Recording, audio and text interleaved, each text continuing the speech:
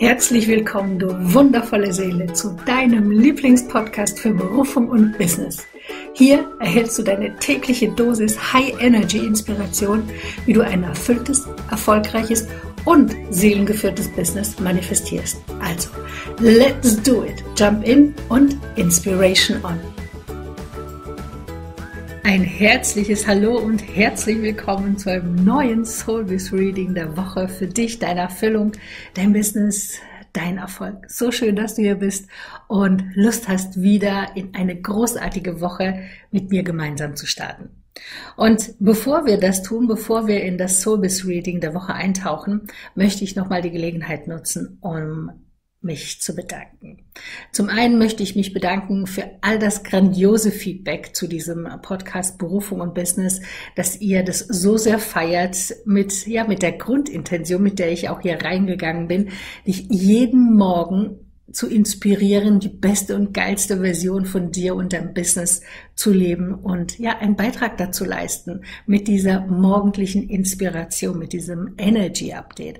Und so wie ich es mir gedacht habe, so ist es auch, wie es bei euch ankommt. Und ich liebe das. Ich liebe es, dass wir hier gemeinsam wirken und dass wir für eine großartige, ja, neue Art des Wirkens, des, ähm, ja, der Erfolge auch letztendlich gehen.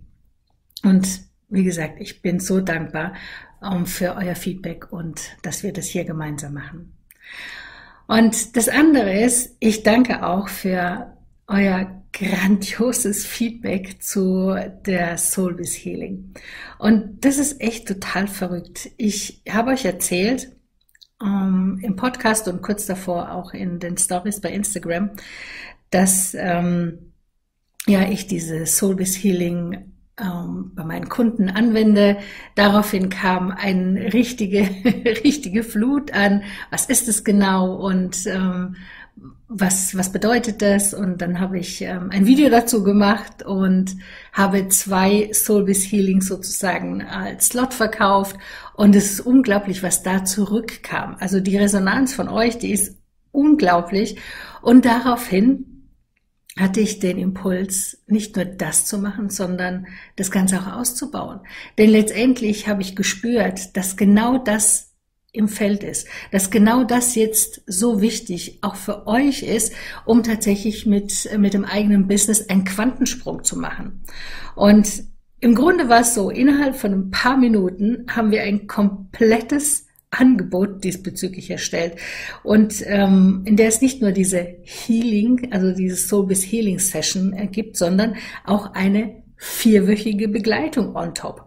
Und ähm, wenn du, wenn du da ein bisschen tiefer einsteigen möchtest, ähm, ich habe hierzu auch einen sehr interessanten, äh, interessantes Live gemacht auf Instagram mit dem Titel Wie kreiere ich ein erfolgreiches Angebot, welches sich wie warmes Semmel verkauft. Geh einfach mal auf Heidi Wellmann bei Instagram und ähm, dann kannst du dir das Video anschauen. Es ist nämlich total spannend, wie Dinge entstehen, wie neue Angebote entstehen. Und das ist ein, ja, fast wie ein Fallbeispiel letztendlich. Und ähm, von daher möchte ich das gerne mit dir teilen, denn es kann dir auch genau den Impuls geben, für das Kreieren deiner Angebote. Ja, denn es ist viel einfacher, wie wir denken. Ich weiß, manche doktern schon ewig an diesem Thema herum und überlegen, wie sie denn, was für ein Angebot sie machen und feilen da dann rum an, ähm, wie sie es genau positionieren, wie sie es vermarkten, welchen Preis und so weiter. Also da ist so viel, ähm, ich sage jetzt mal, Denk- und Kopfenergie drin, dass eigentlich das, was da durchfließen möchte, oft blockiert wird. Und an diesem Beispiel, an der Soul with Healing, ist es so, ähm, teile ich, wie gesagt, in diesem Video, äh, gehe ich darauf ein, wie das Ganze im Detail entstanden ist und wie ich daraus eben dieses, diese vierwöchige Begleitung kreiert habe. Und zwar ganz easy, ja, und leicht. Und eben auch, dass die Menschen einfach bereit sind, dafür zu gehen, bereit sind, dieses Angebot zu buchen und total happy sind damit. Also das ist sozusagen eine Win-Win-Win-Geschichte. Und wie gesagt, schau dir gerne das Video dazu an. Ich verlinke es auch gerne nochmal unten drunter. Und ähm, Natürlich kannst du dich ähm, für dieses Soul Biz Healing auch noch bewerben. Was heißt auch noch? Also du kannst dich hierfür aktuell bewerben und ich freue mich sehr, da immer mehr in die Tiefe zu gehen. Also das macht mir nämlich total Spaß. Das ist eins meiner, ja, meiner, meiner Superpower-Kräfte, dass ich wirklich erkenne, wo wirklich die Blockaden in einem Business sind. Und nicht nur in einem Business, weil wir sind ja im, mit unserem Business sind wir eine Einheit, sind wir ein Zusammenspiel. Und da ist zum einen, kann es im Business irgendwelche Blockaden und energetische Verknüpfungen geben, die nicht dienlich sind, aber genauso in uns selbst. Und auch in dieser Verbindung, also von deinem Business und dir. Und das ist total spannend, denn wie gesagt, das ist einer meiner Superpowerkräfte, dass ich erkenne, wo genau diese Blockaden sind, wo sie verkörpert sind, diese Blockaden, und wie wir die transformieren können und sie da sozusagen in dieser Energie wieder transformieren, die uns dient, das zu leben, was wir eigentlich wirklich leben wollen, das Business zu manifestieren, was wir wirklich manifestieren wollen. Und wie gesagt, ich liebe das und wenn du bereit bist und ein eigenes Business hast, und es nicht ganz so läuft, wie du es gerne hättest, also du nicht die Ergebnisse hast, die du gerne hättest, ist es egal, wo du gerade stehst, ob am Anfang, dass du gerade dein Business startest oder vorhast zu starten oder dabei bist äh, oder schon ein Business hast. Es ist egal. Je nachdem ähm, gibt es andere Themen. Und was besonders spannend ist natürlich, gerade so eine, ein Soul Healing zu machen, bevor wir starten mit dem Business. Denn das ist total spannend. Viele starten ein Business mit sehr viel Altlasten. Und ähm, gerade wenn es auch das erste Mal ist, dass du ein Business startest, nehmen viele mh, mm, ja diese Energie aus der ähm, vielleicht aus der vorigen Arbeit, aus dem vorigen Wirken einfach mit und merken das gar nicht. Und das ist oft ein Thema, warum Business scheitern ja, weil das Alte sozusagen nicht geklärt ist und wir dieses alte, diese alte Energie, alte Verhaltensmuster, alte Glaubensmuster, Konzepte und so weiter in das Neue hineinnehmen.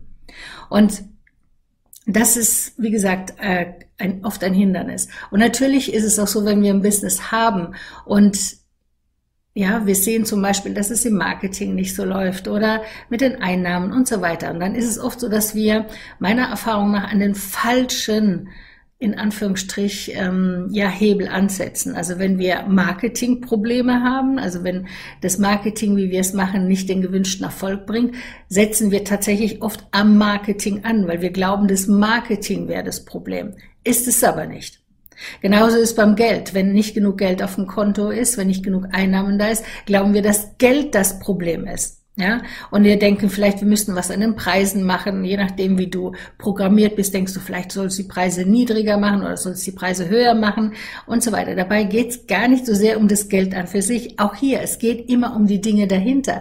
Was hat dazu geführt, dass das Marketing nicht funktioniert? Was hat dazu geführt, dass die, dass du nicht die Einnahmen hast, die du gerne hättest? Und jetzt kannst du an diesem Thema Geld ähm, rumdoktern. Und du kannst vielleicht auch alles Mögliche dazu tun. Wenn du aber nicht bereit bist, in die Tiefe zu schauen, also dir das energetisch auch anzuschauen und zu sehen, wo der Ursprung ist, ja. Und hier geht es nicht darum, dass wir in der Vergangenheit oder so wühlen, sondern einfach nur darum, dass wir Energie transformieren. Energie kann nicht zerstört werden. Energie transformiert sich nur. Und wenn du eine energetische Blockade zum Thema Geld oder zum Thema Marketing hast, dann kannst du alles Mögliche tun, also auf der, auf der praktischen Ebene, auf der Tunebene, und es wird sich nicht viel ändern. Ganz im Gegenteil. Oft kommt dann dieser Frust, ja, ich mache doch schon so viel und es klappt nicht. Ja, weil der Ansatz einfach der oder der Hebel der falsche ist, der angesetzt wird.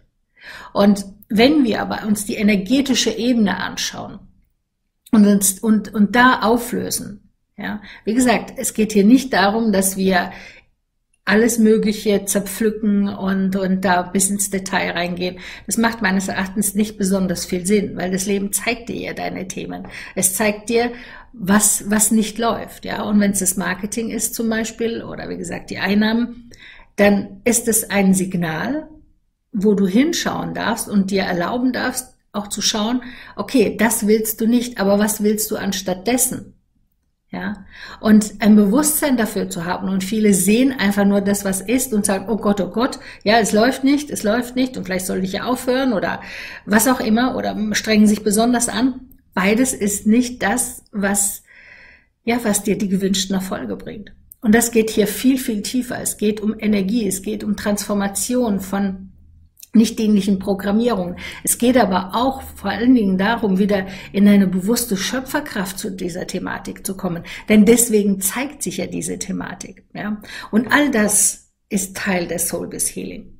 Ja? Also, wie gesagt, je nachdem, wo du stehst, bewerb dich gerne. Unten drunter findest du alles verlinkt. Und dann können wir uns auch anschauen, was bei dir so los ist. Ja, was bei dir, ja, deine Stolpersteine sind, deine Herausforderungen, deine, ja, aber auch deine Möglichkeiten und Gelegenheiten, tatsächlich das geilste Business ever zu manifestieren. Nämlich dein geilstes Business ever. Ja. Also, das war ähm, erstmal dieser äh, relativ lange ähm, Vorrede und ähm, ich würde sagen, genug davon. Also nochmal vielen, vielen Dank für alles Feedback von euch. Es hat mich sehr berührt und ich feiere das sehr.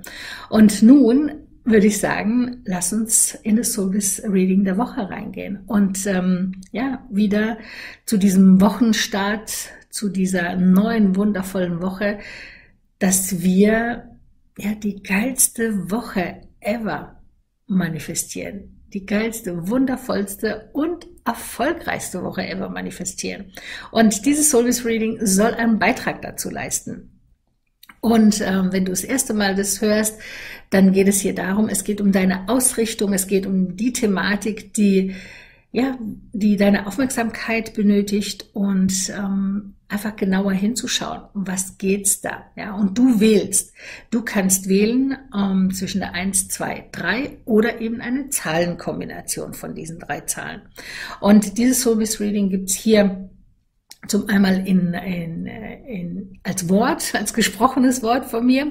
Du kannst es aber auf meinem Instagram-Kanal unter ähm, Heidi Wellmann, findest du auch unten drunter verlinkt, kannst du dir das Ganze auch in Bild abholen, ja, und dir das Bild einfach herunterladen und mit dieser Botschaft, mit dieser Message äh, deines Service Readings und dann wirst du immer wieder dran erinnert. Das ist wie zu sagen, wie dass du den Fokus darauf hältst, was für dich ganz besonders ähm, wichtig ist.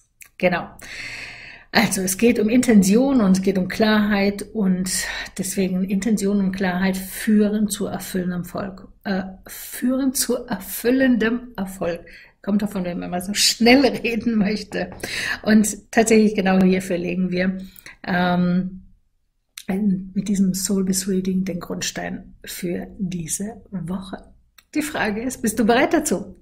Bist du bereit zu wählen? Bist du bereit zu schauen, was ja, was dein Thema ist? Okay, dann los. Dann atme einmal tief durch. Atme ein und aus.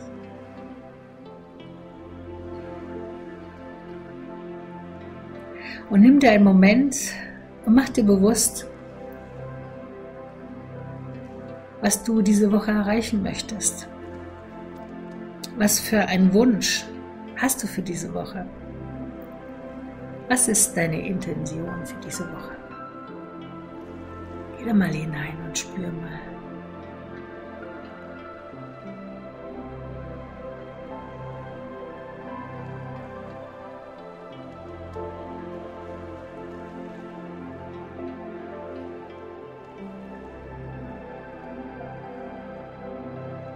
Und nun wähle. Wähle, wie gesagt, die 1, 2, 3 oder eine Zahlenkombination davon. Und in den Show Notes findest du auch die Zeiten der einzelnen ähm, Abschnitte, also der 1, der 2 oder 3, sodass du gleich zu der jeweiligen, ja, zu deinem persönlichen Service Reading vorspulen kannst. Okay, also wir sind ready. Ich würde sagen, wir starten mit der Nummer 1. Und wenn du die 1 gewählt hast, dann ist die Botschaft für dich, bleib dran, bis du dein Ziel erreicht hast. Ich sag's nochmal. Bleib dran, bis du dein Ziel erreicht hast. Ich weiß, du hast ein bestimmtes Ziel mit deinem Business oder du hast vielleicht sogar ein bestimmtes Projekt jetzt gerade am Laufen. Und vielleicht läuft es gerade nicht so gut, wie du dir es vorstellst. Aber gib nicht auf. Bleib dran, bis du dein Ziel erreicht hast. Das, was sich gerade zeigt, ist nur eine Einladung, dir bewusst zu machen, ja, das, was du nicht willst, zeigt sich vielleicht. Und du denkst, hm, ich habe keinen Bock und immer diese Steine, die mir in den Weg gelegt werden und es klappt doch nicht. Hör auf damit. Das, was nicht scheinbar nicht klappt, was dir nicht gefällt, was dir gerade um die Ohren fliegt, ist einfach nur dafür da, als Kontrast, damit du erkennst, was du wirklich willst und dass du deinen Fokus auf das lenkst, was du wirklich willst. Also nochmal, bleib dran, bis du dein Ziel erreicht hast. Und dann noch was. Die meisten geben viel zu früh auf. Sie tun alles, um dann doch irgendwann aufzugeben. So nach dem Motto, ich hab's doch probiert. Ja. Probieren. Das geht hier nicht darum. Bei, bei dir geht's nicht darum, ums Probieren. Bei dir geht's darum, dass du dran bleibst, dass du diese Entscheidung triffst, dass du einfach siehst, okay, ah, dieser Kontrast zeigt sich jetzt gerade und was will ich? Und dann wieder den Fokus darauf lenken, was du wirklich willst. Erinner dich daran. Du bist ein machtvolles Schöpferwesen. Du bist nicht verloren. Und nichts geschieht zufällig. All das hast du dir manifestiert, auch das, was du nicht willst, um zu erkennen oder ein Bewusstsein dafür zu haben, was du eigentlich wirklich willst. Es geht darum anzuerkennen, wer du in Wirklichkeit bist, ein machtvolles Schöpferwesen und wie du in Wahrheit wirklich wirkst als machtvolles Schöpferwesen. Und es geht darum, dran zu bleiben. Auch wenn sich zum Beispiel dein gewünschter Termin für das, was du dir gerade vorgenommen hast, vielleicht kommt es jetzt gerade viel, viel näher. Und du denkst, oh, ich, eigentlich müsste doch schon alles parat sein, aber es sind doch jetzt nur noch zwei Tage oder nur noch ein Tag. Und es ist nicht so, wie ich es gerne wollte. Hör auf, dich verrückt zu machen mit der Zeit. Nochmal, bleib dran, bis du dein Ziel erreicht hast. Bleib dran. Ja? Und vielleicht geschieht es dann nicht an diesem Tag, vielleicht einen Tag später oder zwei Tage oder zwei Wochen später. Die Zeit ist relativ, nur wir geben dieser Zeit eine Bedeutung. Hier und jetzt ist alles da. Das Fantastische ist, und das möchte ich dir ganz deutlich sagen, das, was du dir wünschst, ist schon da. Es ist in deinem Feld, sonst hättest du gar keine Verbindung dazu, sonst würdest du dir das nicht wünschen. Also es ist schon da. Das die Herausforderung zurzeit ist folgendes. Es zeigt sich noch nicht in deinem Leben, weil du immer wieder aus dieser Frequenz rausgehst. Das heißt, da wo dein Wunsch gerade schon ist, ist vielleicht, ähm, wenn ich das jetzt bildlich darstellen würde, ein paar Stufen über deiner Energiefrequenz. Deine Aufgabe ist es, in die Energiefrequenz hineinzugehen, also dich hin, hinauf zu begeben, wenn du so willst.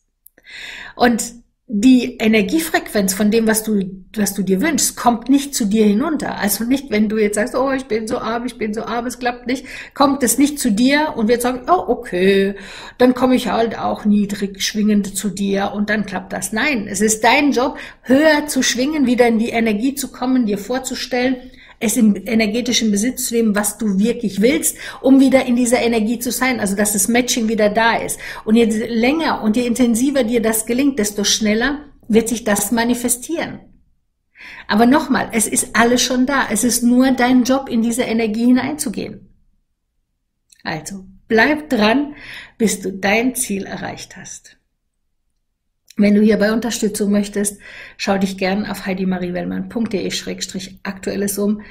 Da wird dir geholfen, je nachdem, wo du gerade stehst. Ob du ein Business starten willst, dann ist die Soul Biz Journey das Richtige. Oder du hast schon ein Business, dann ist die Soul Biz Lounge perfekt für dich. Oder wie schon vorhin gesagt, vielleicht ist auch die Soul Biz Reading für dich. Also für alles kannst du dich gerade bewerben.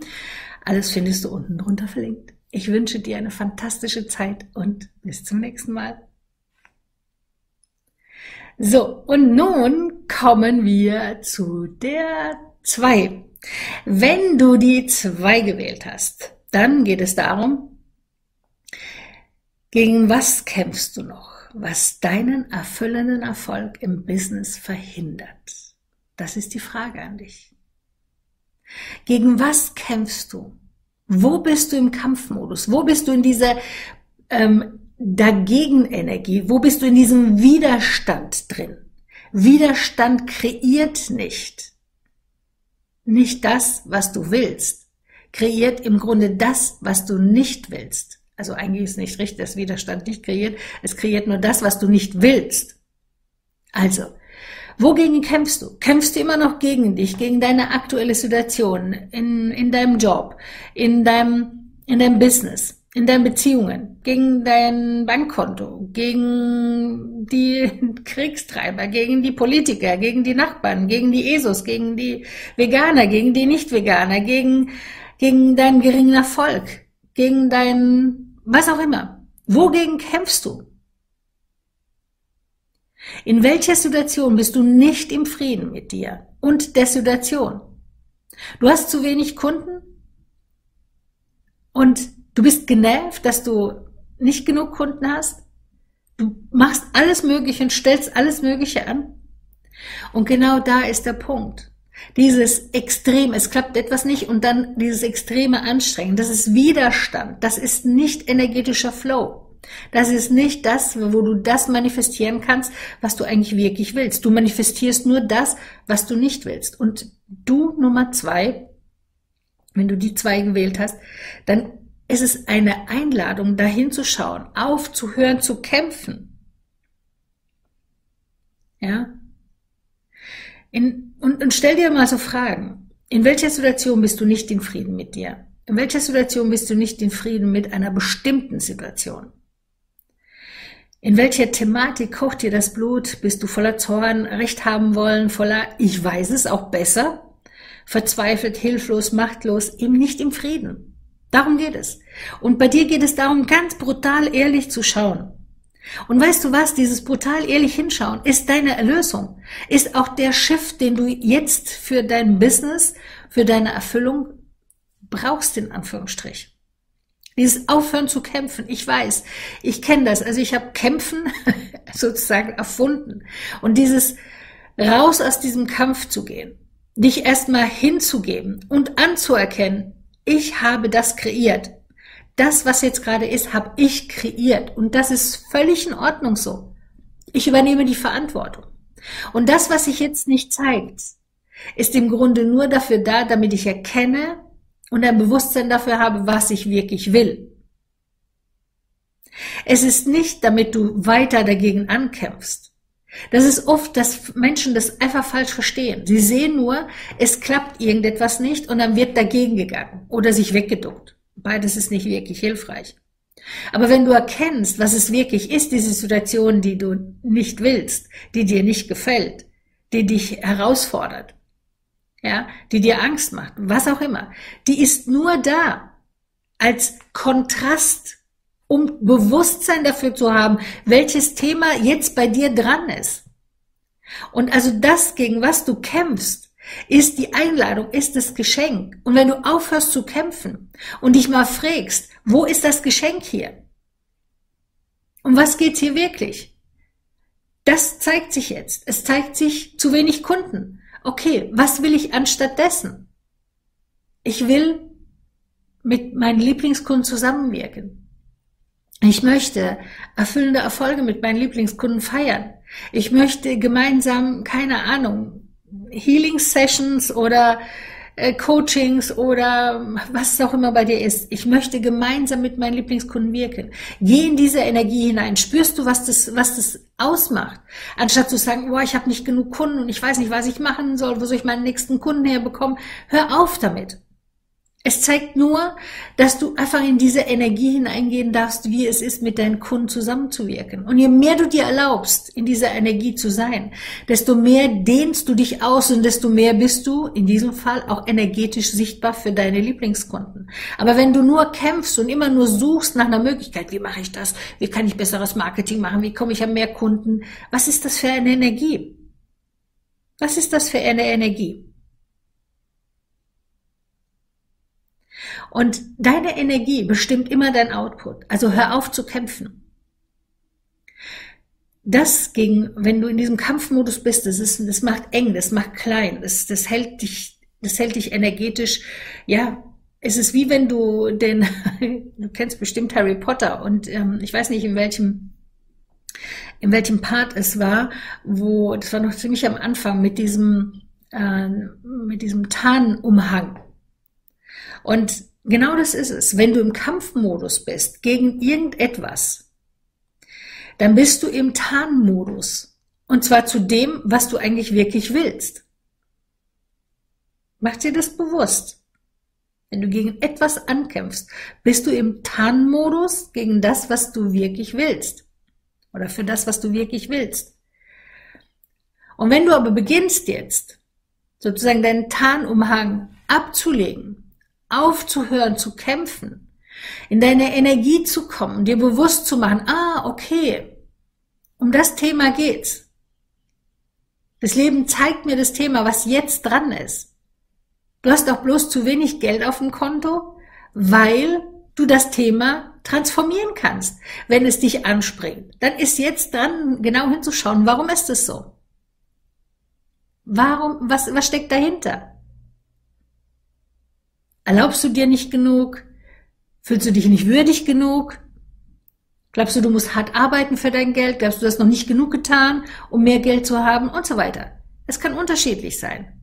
Das sind so Themen, die die gehen wir ähm, in, zum Beispiel in der Soulbiz Lounge gehen wir die im Detail an. Wir schauen uns das an und transformieren da auch diese Themen, ja, also diese Kampfthemen, wo wir gegen ankämpfen könnten im Business und schauen uns an, was liegt dahinter. Oder natürlich auch in, ähm, in einem Soulbiz Reading, ja, dass wir einfach da schauen, okay, auf tiefster energetischer Ebene, wo ist da, wo ist da der, der Punkt, ja, was du abgespeichert hast in deinem System, mit dir rumschleppst die ganze Zeit und immer wieder in so einer Dauerschleife drin bist. Und ich weiß, viele wollen das mit diesem mit dem Verstand lösen und sagen, ja, aber ich muss dann eins, zwei, drei, vier, fünf machen. Wenn ich nicht genug Kunden habe, dann muss ich ja das und das und das und das machen, die Aktion starten, damit ich mehr Kunden bekomme. Und ich sage dir, stopp. Du darfst es erst auf energetischer Ebene entwirren. Du darfst es energetisch dahinter schauen, das Geschenk erkennen. Ja, wenn du das nämlich nicht tust, dann kann es durchaus sein, dass du, wenn du dich anstrengst, dass irgendetwas ganz gut klappt, was du da machst, aber es keine nachhaltigen Erfolge bringt. Also, bei dir geht es wirklich darum, ganz brutal ehrlich zu sein, dich zu fragen, gegen was kämpfe ich noch, was meinen erfüllenden Erfolg im Business verhindert. Ja. Und als sozusagen erweiternde Frage, schenke ich dir jetzt noch eine Frage. Und die, geh mit dieser Frage in diese Woche hinein in, und stell sie dir wirklich in Dauerschleife. Was kann ich tun, sein, lassen und empfangen, um in Frieden zu sein? Und jetzt kannst du das allgemein die Frage stellen, du kannst aber auch die Frage stellen, ganz konkret, was kann ich tun, sein, lassen und empfangen, um in Frieden in meinem Business zu sein, in meinem Marketing zu sein, mit meinen Einnahmen zu sein.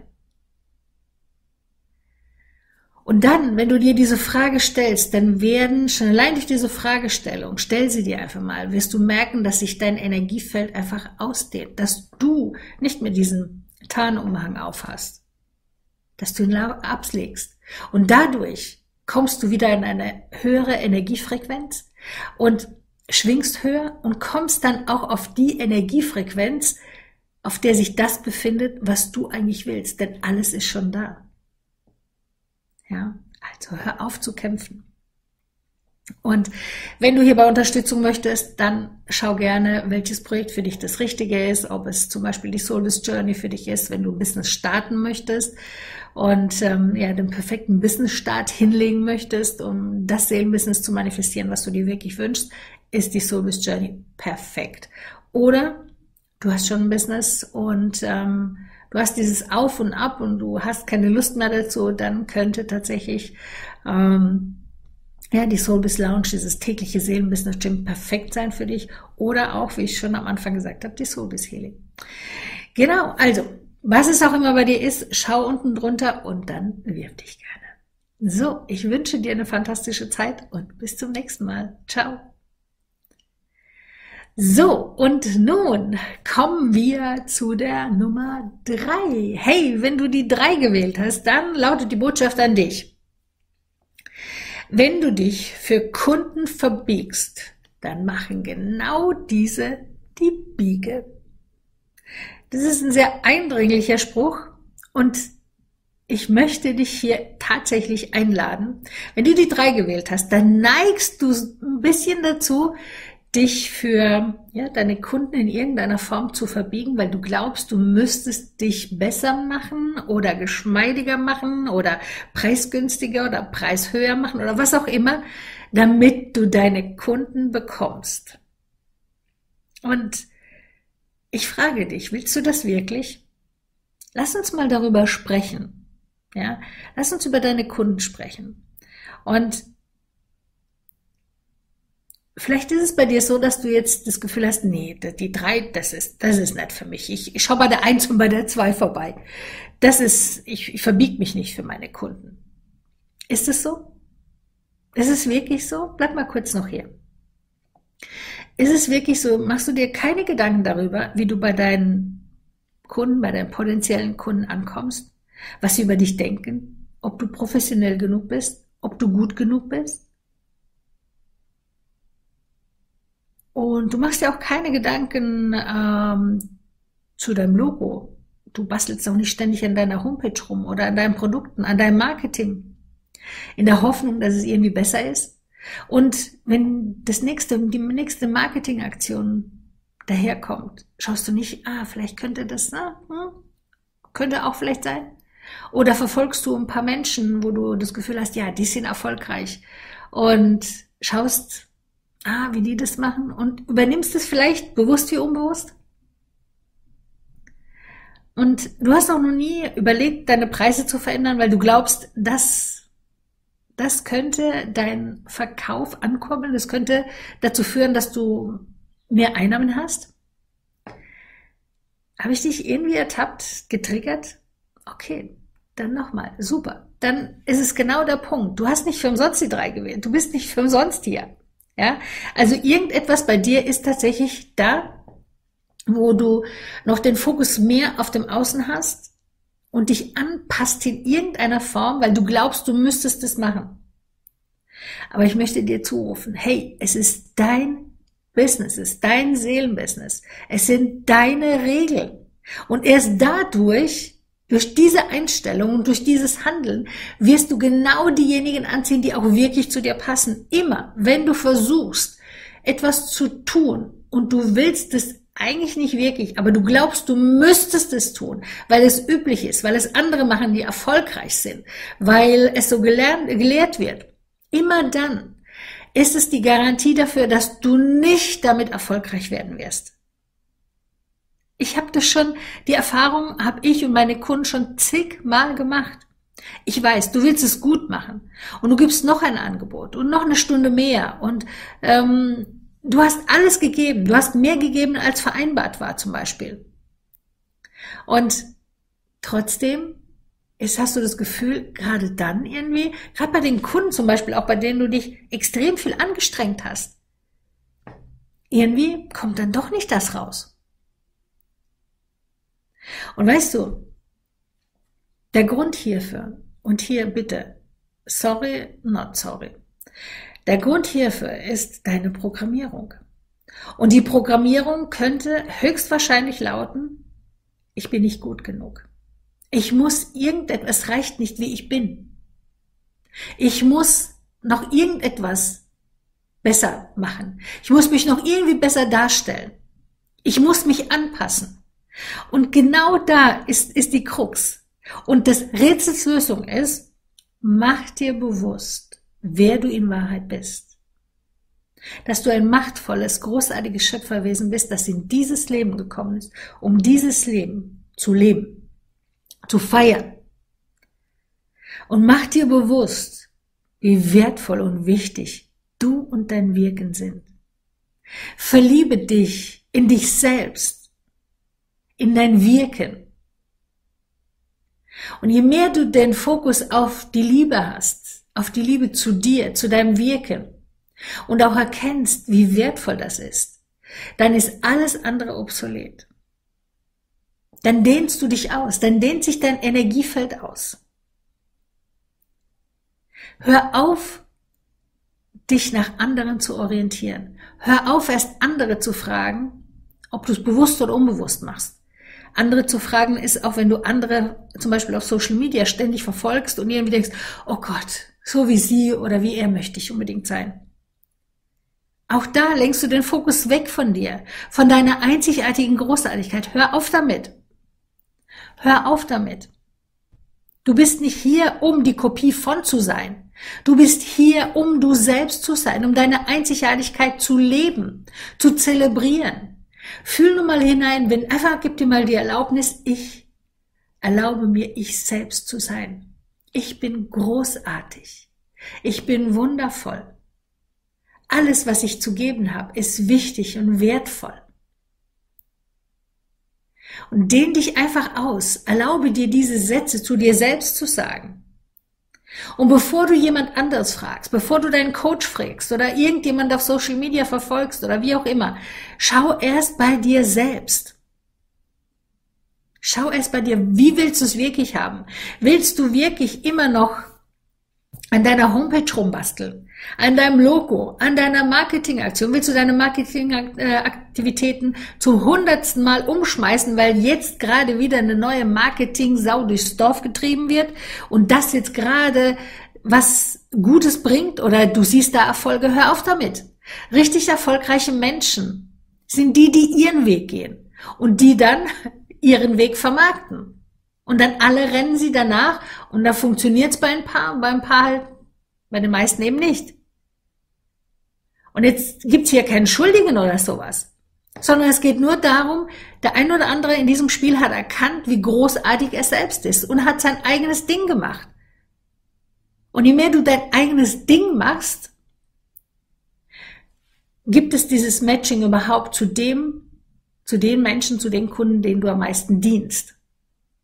Und es ist im Grunde so, dass du, wenn du deinen Platz einnimmst, in deiner Kraft bist, dann hast du eine bestimmte Ausstrahlung. Und diese Ausstrahlung trifft auch genau diejenigen, denen du am meisten dienen kannst. Ja. Aber jetzt bist du nicht sichtbar für diejenigen, mit denen du am besten zusammenwirken könntest, weil du zu sehr damit beschäftigt bist, dich irgendwie anzupassen.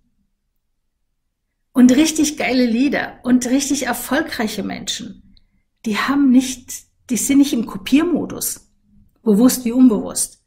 Die sind nicht in diesem Modus, wie sollte ich's machen und ich müsste noch irgendwie, irgendwie noch was dazugeben. Ja. Also spricht nichts zum Beispiel gegen dieses Overdelivern, wenn du es aus dem Herzen machst. Aber wenn du denkst, du müsstest es machen, ja, weil hier schon, ich hatte gerade vor kurzem eine Kundin und da, da, kam, da kommt es ziemlich gut rüber. Eine Kundin von mir, die hatte ihren Preis ange, äh, also erhöht. Und zwar wirklich den Preis, den sie auch gespürt hat. Und es war, es war genau das Richtige für sie. Und ähm, es war aber ein Preis, den sie sich vorher nicht annähernd erlaubt hatte. Und was ist passiert? Sie hat dann auch tatsächlich diejenigen angezogen, die, die, mit denen sie super zusammengearbeitet hat. Und sie hat sich aber selbst dabei ertappt, dass sie währenddessen, weil sie ja den Preis so hoch angesetzt hat, immer dabei war, noch eins draufzusetzen. Also, ah, dann hat sie noch äh, die Aktion noch dazu reingepackt in das Paket und das noch irgendwie verlängert und so weiter. Also sie war ständig dabei, sozusagen wie zu rechtfertigen diesen Preis. Und das ist etwas, das auch da geht's darum. Also auch hier sich zu verbiegen, das ist auch wieder diese Energie im Außen.